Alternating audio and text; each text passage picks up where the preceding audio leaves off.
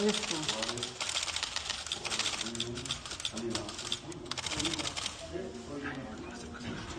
¿Qué tal amigos de Fuego Casa? Nos encontramos en la Escuela Progreso Martínez de la capital del Estado. En estos momentos el gobernador Claudio García Jiménez acaba de emitir su voto en lo que es este domingo de elección de la consulta popular para enjuiciar a expresidentes. Eh, se encuentra ahí, le están dando la credencial al doctor.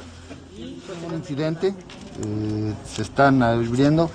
Eh, lamento que solamente sea un tercio de las casillas que se instalan normalmente en el estado, solamente se hayan instalado un tercio de ellas.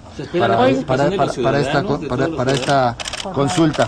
Pues ya con el hecho de que le pusiste un tercio, ya se imaginarán, y también otro detalle, en 30 municipios no instalaron ninguna Pero casilla. esto no se obedece a Oye, la eh, ¿qué- ola. ¿Cuál es su opinión Entonces, sobre que en 30 municipios no se Eh, instalan? mañana, mañana ya les doy- nada más es el corte que me preguntaron y ya mi opinión sobre eso mañana, mañana con todo. Solamente instalaron un no tercio obedece a que- a que de casillas justamente- y no solamente eso, sino que 30 municipios no tienen ni una sola casilla. O sea, no obedece esto que justamente No, algunos municipios, reporte. Zapata no, dijo que no iba a tener este Bueno, casilla yo les- les- porque está la les- tercera ola y no quería exponer a los ciudadanos. Bueno, yo les comento, eh, mañana daré mi opinión.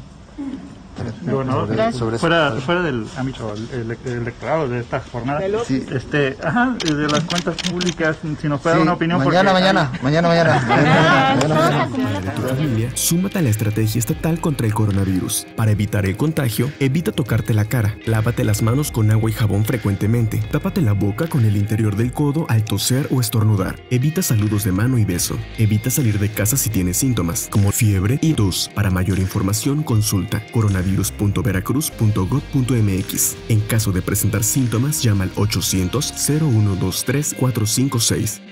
Veracruz, Gobierno del Estado.